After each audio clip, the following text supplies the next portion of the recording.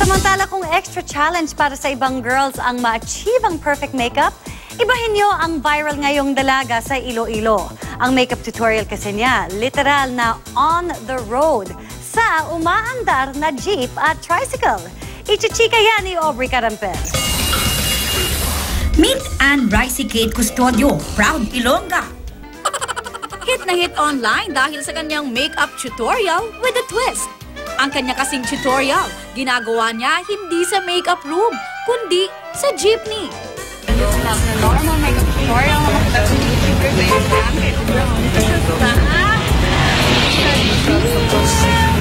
Deadma kahit halos puno ng pasahero ang jeepney, makarir lang ang kanyang makeup tutorial.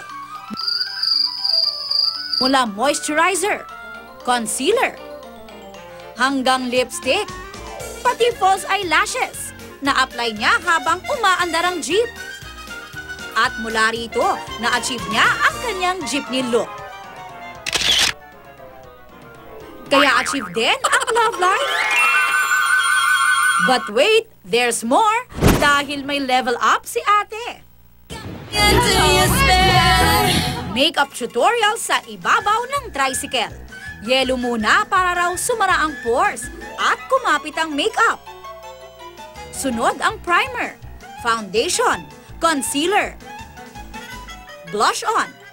At kahit challenging ang pagkikilay, kayang-kaya pa rin habang umaandar ang trike.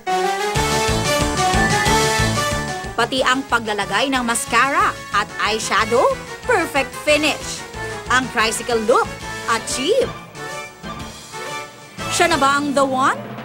Pero kahit Kim Sawi, may instant fans naman online si Makeup Girl dahil sa husay niya sa pagme-makeup.